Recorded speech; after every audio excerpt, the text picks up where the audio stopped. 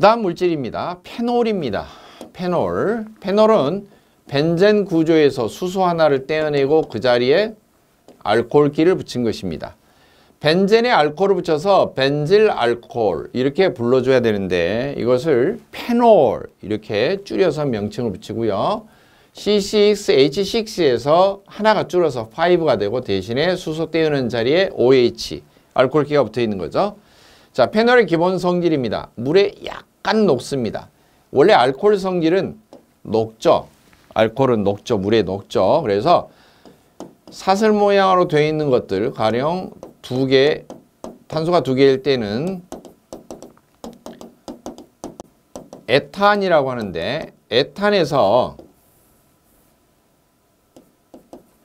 수소를 떼어내고 이 자리에 OH를 붙이면 어떻게 돼요? 알코올기를 붙이면은 에틸 알코올 또는 에탄에서 만든 알코올이다 그래서 에탄올 이렇게 불러주죠.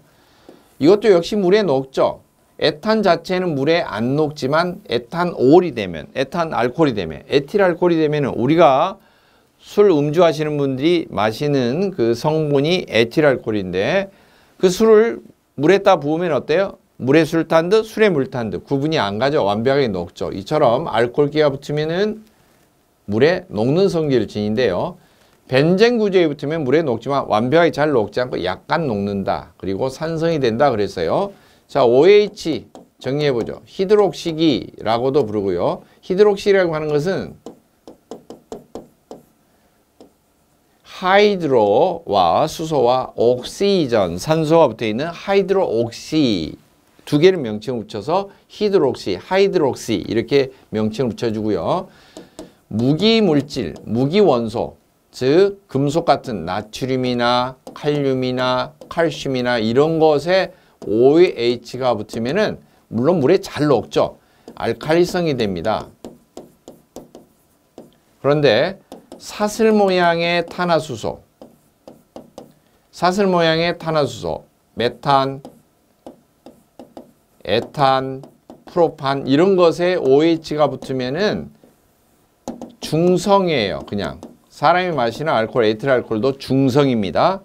그런데 벤젠 구조에 벤젠 고리에 OH가 붙으면은 페놀이라고 명칭을 하고요. 물에 약간 녹아서 이것은 산성을 띠게 됩니다. 산성. 그래서 OH가 무조건 알칼리성을 띠고 있다 그런 건 아니고요. 금속 원소에 붙어 있는 것은 알칼리성. 그 다음에 사슬 모양으로 메탄이나 에탄, 프로판 이런 것에 붙어 있으면 그냥 중성. 즉 염산 쪽이나 양잿물처럼 이렇게 되지 않고 그냥 물과 똑같은 상태. 중성이 되고요. 대신에 벤젠고리에 OH가 붙어 있다. 즉 페놀기가 되면은 그 액체의 성질은 산성을 띠게 됩니다. 이 페놀은 상온에서 고체 상태로서 위험물 분류는 아닙니다. 하지만 벤질 알코올은 사류 염물 중에서 삼석유로 비수용성 2000리터로 이렇게 구비되어 있는데 용점 자체도 좀 높은 편이고 인화점도 어, 높은 편입니다. 자, 그 다음에 페놀의 유제체입니다. 페놀 유도체는 페놀에 다른 원소를 붙이는 걸 말합니다. 이쪽에 수소들이 붙어 있는데 이 수소 붙어 있는 자리를 떼어내고 다른 걸 붙일 수가 있죠. 그리고 크레졸, 예를 들면은 크실렌에서 한 자리를 OH 이렇게 알코올 결합한 것을 이제 크레졸이라고 하고요. 다가페놀, 나프토 이런 거 등등이 전부 다 다 유도체에 속합니다. 페놀을 유도를 해서 구조로 변경해서 만든 것들입니다. 바로 이어서 나오는 크레졸인데요. 크레졸은 페놀기도 붙어 있고 그 다음에 어, 메틸기도 같이 붙어 있는 것이고요. 그 다음에 이 붙어 있는 것이 가까이 붙어 있을 수도 있고 한 칸, 두 칸 떼어서 찢어서 붙일 수도 있습니다. 그러면 가까이 붙어 있는 것은 O형, 두 칸째 붙어 있는 것은 M형, 마지막으로 대칭으로 보고 있는 것은 P형 그래서 ortho, meta, para 이렇게 명칭을 불러주고요. 크레졸도 이처럼 OH기가 붙어 있는 위치 서로 메틸기와 OH기가 붙어있는 위치에 따라서 세 가지 형태로 구분이 된다. 그 다음 O크레졸, P크레졸은 특수 가연물 중에서 가연성 고체류로 속해 있습니다. 그런데 M형은 메탄은 어, 일반 유연물 종류로 구분이 되어 있죠. 자, 그 다음에 나프톨. 나프톨은 나프탈렌에서 알코올기를 붙인 거죠. 그것은 나프톨이라고 하는데요. 밑에 구조는 탄소가 10개, 그 다음에 수소는 각각 왼쪽에 4개, 오른쪽에 4개, 8개로 이렇게 되어 있는 것인데 이 중에서 한 개를 떼어내고 7개를 줄고요. 한 개 떼어낸 대신에 OH를 붙인 것이죠. 히드록식이 예, 알코올기를 붙인 것입니다. 이게 나프톨이라고 합니다. 나프탈린 구조에 OH기가 한 개 달라붙은 형태이고 나프톨은 고체 형태입니다. 고체 형태. 그리고 특수 과연물로 속해 있어요. 위험물로 구분은 되어 있지 않습니다. 나프톨은 특수 과연물 중에 가연성 고체류에 속하고 지정 수량이 3,000kg로 지정이 되어 있습니다. 자, 그 다음 트리 어, 니트로 벤젠 구조인데요. 니트로 벤젠은 벤젠 구조에서 니트로기 하나를 붙인 것을 어, 니트로 벤젠 말하고 만약에 니트로가 두 개가 이처럼 붙어 있다. 그러면은 디니트로 벤젠 이렇게 명칭을 붙이고요. 만약에 세 개가 붙어 있다. 그러면은 트리니트로 벤젠 이렇게 불러줍니다. 세 개면은 트리. 자 그런데 디니트로 벤젠일 때는 벤젠에 니트로가 가까이 붙어 있을 수도 있고 한 칸 떨어지고 또는 두 칸 떨어지고 이처럼 벌어지는 각도에 따라서 역시 O형, M형, P형 이렇게 나눌 수가 있습니다. 자 먼저 하나 붙어 있는 니트로벤젠입니다. 성질은 담황색, 오랜만에 조금 색깔이 나오죠. 또는 갈색의 점성, 약간 끈적이는 성질이 있는 액체 상태이다. 물에는 녹지 않습니다. 물에는 녹지 않고요. 환원이 된다 그러면은 수소를 결합을 시켜준 거. 수소를 결합시키면은 환원. 만약 수소를 떼어내면은요. 제거하면은 산화 그렇게 불러주는데요. 수소와 결합을 시켜서 환원되어서 아닐린이 만들어진다 그랬는데 산소가 들어가서 산화를 시키고 있는 것을 저리 떨어내고 그 자리에 수소를 다시 붙여줍니다. 그러면 환원이 된 거죠. 그래서 만약에 NO2가 붙어 있는 니트로기에 H2, O2를 떼어내고 수소를 갖다가 치환을 다시 시켜주면 결합을 시키면은 산화의 반대가 되니까 환원이 되는데요. 그러면은 NO2가 NH2로 바뀌게 되죠. NH2가 붙어 있으면 아민기가 되는데요. 아민기가 붙어 있는 벤젠 그러면 아민 벤젠 또는 아닐린 그렇게 부른다고 그랬죠. 같은 명칭입니다. 아민 벤젠과 아닐린. 이건 피부에 흡수가 되는 성질이 있고요. 독성을 지니고 있습니다. 사류 위험물 중에서는 삼석유류에 속해 있고요. 각각의 지금 명칭들이 지금 당장 안 외워도 구조만 일단 떠올리시고 읽는 방법 그리고 분자식을 써 내려가는 방법 이것을 학습을 많이 하시고 각각의 지정 수량이 얼마인가는 유별 위험물 유별의 특성 가운데 또 성상 가운데에서 공부를 하시면 되겠습니다. 그 다음 트리니트로 톨루엔입니다. 톨루엔에 이처럼 니트로를 3개를 붙인 것이죠. 톨루엔에 만약에 니트로를 두개 붙이면은 디니트로 톨루엔 그렇게 불러줍니다. 자, 이런 것은 TNT라고 하는데 약자로 트리니트로 톨루엔 그렇게 말하고요. 역시 담황색, 연한, 담은 연하다, 옅다 할때 담이라고 하고요. 진하다 그러면 농 그렇게 말합니다. 농담 할 때 진하고 옅고 하는 것을 담이라고 그러죠. 자, 옅을 때 담황색, 주상결정, 기둥 모양이다. 기둥 주자를 사용합니다. 햇빛을 쏘이면 갈색으로 색깔이 변합니다. 담황색이 좀 진해지는 거죠. 물에 녹지 않습니다. 트리니트로 톨루엔, TNT는 녹지 않고요. 그 다음에 모든 폭약의 폭발력의 기준이 됩니다. 폭약 중에 감도가 민감한 정도가 가장 낮고 그만큼 안전하다는 거죠. 그러나 폭발력은 우수합니다. TNT는 5류 위험물에 속해 있습니다. 폭탄 종류고 자기 연소성 물질에 해당하죠. 자 다음으로 트리니트로 페놀입니다.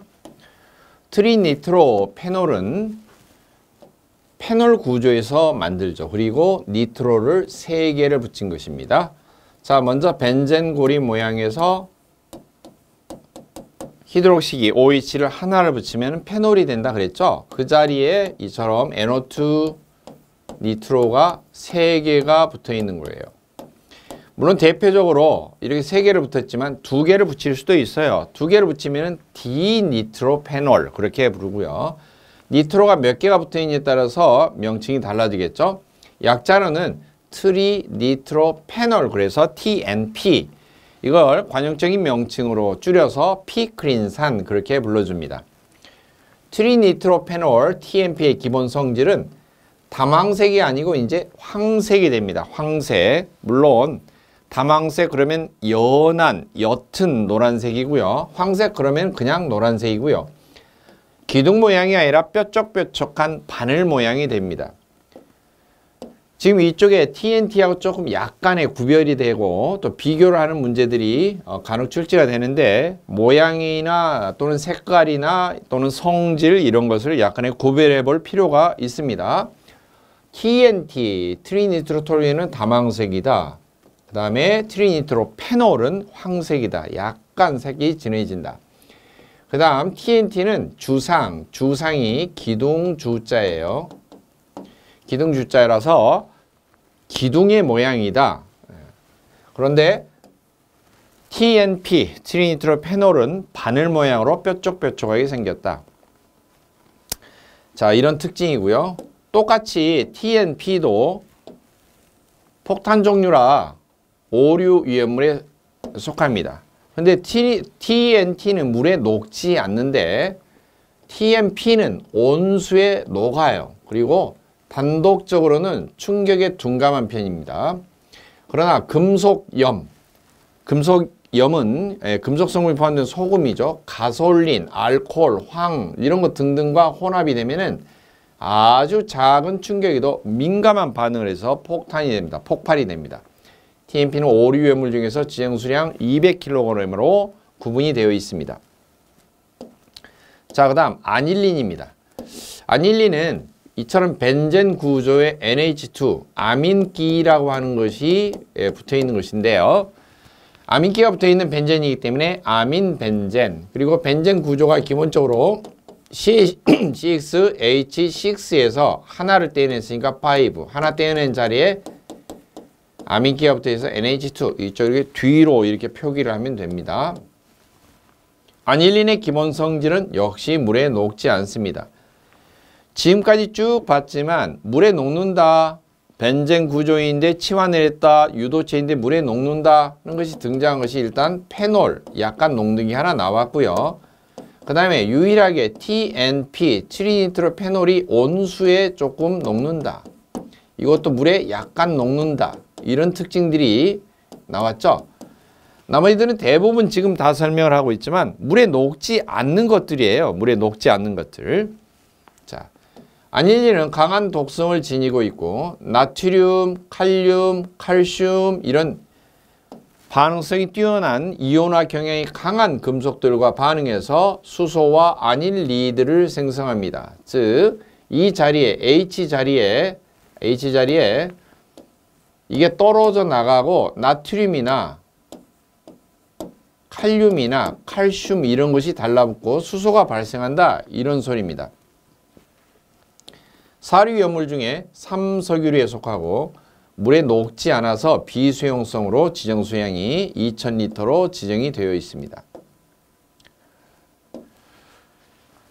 자, 이제 벤젠 구조를 어, 또 니트로와 반응이 어떻게 되는가 한번 보면요. 벤젠의 구조의 HNO3 질산이죠. 읽을 때 NO3가 원자단에서 질산기 기초화 공부할 때 설명했던 부분인데요. 이건 마이너스 1가라서 플러스 1가인 H가 하나 붙으면 질산이 됩니다. 이제 마지막 페이지이기 때문에 왜 NO3가 마이너스 1가의 전기 성질을 띠게 되는 원자단이 될까요? 질소하고 산소는 포온 연부 탄학 요소의 인기울에서 핵의 힘이 센 순서로는 산소가 더 약간 세고요. 질소가 산소보다는 덜 셉니다. 그래서 산소가 전자를 빼앗기를 좋아하는데 육족이다 보니까 팔각형을 채우려면 전자를 두 개씩 빼앗죠. 그게 세 마리죠. 근데 질소는 5족이라서 가장 바깥쪽 궤도에 튀어나온 전자, 최외각 전자가 다섯 개밖에 없습니다. 다섯 개를 털리는 선택을 하게 되는데요. 전자 다섯 개를 털리면 핵 속에 들어있던 양성자 다섯 개가 짝이 갑자기 없어져서 플러스 5의 꼬라지를 내는 상태가 됩니다. 계산기를 누르면 은 마이너스 1이 되는데요. 즉 분자가 못 되는 전기 성질을 띠는 이온 상태가 돼서 플러스 1의 성질을 띤 일쪽에 있는 수소, 리튬, 나트륨, 칼륨 이런 것을 붙이면은 분자가 곧바로 되죠. 이게 질산인데요. 질산을 갖다 붙이면은 이 수소가 떨어져 나가고 그 자리에 질산 중에 붙어 있는 니트로기가 결합이 되는 거예요. 자, 그림을 자세히 보시면 나머지 여섯 군데 다 수소가 붙어 있다고 가정을 하고 HNO3라고 하는 질산이 1이 와서 공격을 하게 되면은 질산은 산성, 강한 산성 물질이기 때문에 산화력이 강합니다. 질산은 보면은 H도 있고요. 그 다음에 O도 있고요. 그 다음에 니트로긴 NO2도 있고요. 이런 게 다 결합이 되어 있는 형태이죠. 그 중에서 NO2가 결합이 되고 수소가 떼어내지는 이런 상태가 되죠. 그러면 수소가 떨어진 자리에는 NO2가 물론 당연히 달라붙게 되고요. 떨어져 나온 H 하나, 그 다음에 질산에 들어있던 H 하나, 그리고 NO3에 들어있던 O 하나 이렇게 되면은 결국엔 나머지가 H가 두 개, O 산소가 한 개. 그래서 물이 만들어지죠. 이 물이 자꾸 쌓이게 되면은 반응이 더디게 된다. 왜? 벤젠이나 일반 사슬 모양의 탄화수소나 다 기름과 같은 구조인데 기름에 물이 착게 섞여 있어요. 자꾸 섞이면은 반응이 더디게 되죠. 그래서 그 물기를 제거하기 위해서 CH2SO4, C는 농축된 뜻을 지닌 concentrated라고 그랬죠. 어, 농축된 진한 황산을 넣으면 황산이 질산하고 같은 편이기 때문에 같은 산이기 때문에 질산이 작용을 하는데 방해는 하지 않아요. 대신에 물기를 좋아해서 수분을 흡수해 갑니다. 반응이 일어날 때 발생한 수분을 흡수해 가면은 이제 이처럼 니트로벤젠이 되겠죠. 니트로가 하나 붙으면은 니트로벤젠이고요. 만약에 HNO3가 EHNO3 이처럼 질산이 두 개가 달라붙어 있다 그러면은 디니트로벤젠이 이루어지는 거죠. NO2가 두 개가 붙은 만약에 3HNO3 질산 3개의 분자가 달라붙으면은 니트로가 3번 이렇게 결합이 되는 거죠. 트리니트로가 되겠죠. 자, 이처럼 니트로 벤젠이 만들어져 있는 이 상태에서 이 산소를 떼어내고 산소가 붙어 있다. 그 붙어 있던 산소를 떼어내면은 산소를 제거하면 어떻게 돼요? 환원이죠. 산소가 결합이 돼서 산소가 그 분자에 들어가서 초토화를 시키면 산화되었다. 그렇게 이야기하고 그 산소를 떼어내고 대신에 뭘로? 수소를 갖다가 붙여주죠. 그러면은 어떻게 될까? NO2가 NH2로 이렇게 바뀌게 됩니다. NH2로. 물론 그 중에서도 어, 수소가 어, 떨어져 나온 것하고 산소 떨어져 나온 것하고 해서 물이 생성이 되는데요. 진한 황산으로 역시 제거를 합니다. 그러면은 이렇게 아민기, 예, 아민기가 붙어 있는 게 됩니다.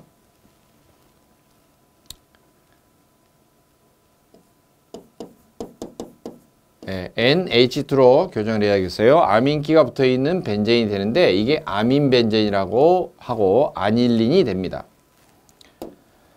이처럼 벤젠 유도체를 아주 다양하게 살펴봤는데 먼저 그림으로 벤젠 유도체는 학습을 해서 벤젠 육각형 구조에서 그 수소를 떼어낸 자리에 과연 어떤 것이 달라붙느냐 이렇게 그림으로 먼저 어, 학습을 하는 게 중요하고요. 그 다음에 그림을 탄소가 몇 개, 수소가 몇 개, 관능기가 몇 개 이런 식으로 정리를 해서 표시한 분자식으로 바꿔보는 거.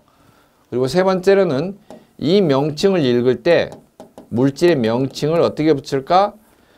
여기 달라붙어 있는 관능기와 벤젠이라고 하는 것이 결합이 되어 있기 때문에 관능기 명칭과 벤젠이라고 하는 것이 같이 들어있어요. 대부분. 그리고 그러한 명칭을 좀 간편하게 해서 습관적으로 관용적으로 쓰기 위해서 줄여놓은 별명이 있죠. 별칭이. 예, 예를 들면 아민 벤젠 그러면 아닐린 이렇게 말하고요. 비닐 벤젠 그러면 스틸렌 이렇게 불러주는 것처럼 다른 별칭이 있죠. 관용적인 명칭이 있는데 그것도 같이 외워두시고 그 다음 마지막 관능기 종류가 무엇이냐에 따라서 물에 녹는다 안 녹는다 이것을 좀 구별해 놓으시고 대부분 물에 안 녹는데 물에 녹는 것이 몇 가지 안 되죠. 벤젠 구조초에서는 비수용성으로 되어 있고 일부분만 몇 가지 종류만 물에 녹는 성질을 지닙니다. 그리고 대부분 또 향기가 있죠. 독특한 냄새가 있다는 거예요. 물론 색깔 자체는 대부분 없지만 이게 고체화된다든지 그러면은 색깔을 좀 띄게 될 수도 있습니다. 그러나 기본적으로는 무색에 가까운 것이고요. 또 하나 독성을 띠는 것들이 많이 생깁니다. 벤젠 구조는 잘 분해가 되지도 않고 하는 완벽한 공명 구조로 이렇게 육각형처럼 돼 있어서 잘 외부에서 때려도 어, 분해가 잘 되지 않는 그런 구조이고요. 벤젠 유도체 가운데서 상당수는 사람이 직접 흡입을 하게 되면은 그러한 독성이 누적이 되어서 발암 물질로도 이렇게 작용을 하기도 합니다. 지금까지 설명드렸던 이런 일반 화학 부분에 기초적인 부분을 잘 학습을 해서 닦아 놓으시면은 위험물을 진짜로 공부할 때 위험물 성질 상태 즉 성상을 공부하거나 할 때 아주 커다란 도움이 되고 구조 금방 떠올릴 수 있고 물질의 명칭 떠올릴 수 있고 그 물질이 대략적으로 어떤 특징을 지니고 있다. 특히 사류염물, 오류염물 중에서 대략 어떤 특징을 기본적인 물리적인 또는 화학적인 성질을 지니고 있다 하는 것을 파악하기가 쉽습니다. 그러면은 이제 전문적인 저장 방법이나 지정 수량 아, 그리고 또 불을 끌 때는 어떤 소화약제가 가장 탁월하게 반응을 한다. 이 정도만 얹으면은 위험을 거의 어, 정보하기가 쉽다 하는 것을 설명을 드립니다. 지금까지 위험물 일반 화학을 설명을 드렸습니다.